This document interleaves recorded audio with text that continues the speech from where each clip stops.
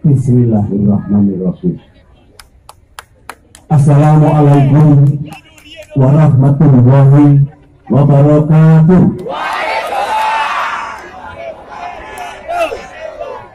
Alhamdulillahirabbil alamin. Masih ingat saya? Alhamdulillah.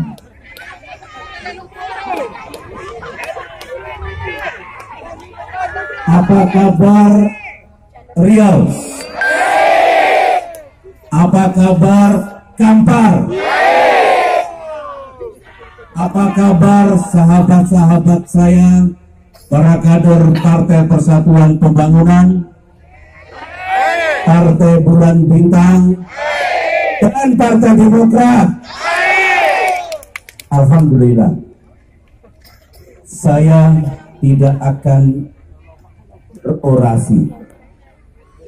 Kita sudah mendengar tekad untuk membangun Riau lima tahun ke depan, membangun Kampar menuju hari esok yang lebih baik.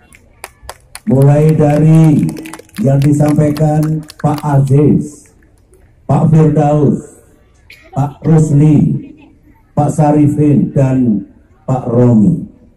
Saya mengamini. Semoga Allah kabulkan. Kampar dan Riau lima tahun mendatang lebih baik dari sekarang ini. Insya Allah bisa. Bawah pemimpinan Pak Aziz, saya yakin Kampar akan jauh lebih maju. Dan insya Allah di bawah kepemimpinan gubernur dan wakil gubernur kita yang baru nanti. Pak Firdaus dan Pak Rusli Riau yang kita cintai bersama juga akan makin aman makin adil makin sejahtera. Sejahtera lahir dan batin mengapa kita datang hari ini di tempat ini? Bapak Ibu, saudara-saudaraku. Karena kita ingin yang tadi itu Riau lebih baik.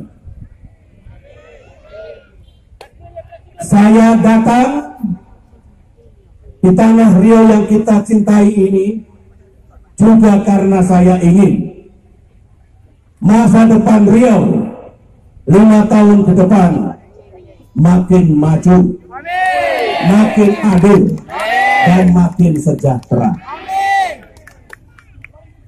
Itu saja sebenarnya hajat kita, niat kita, dan tekad kita.